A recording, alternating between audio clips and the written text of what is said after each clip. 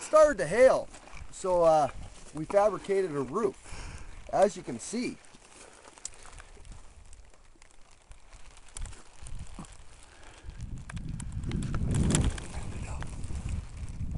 that's how we do things out here.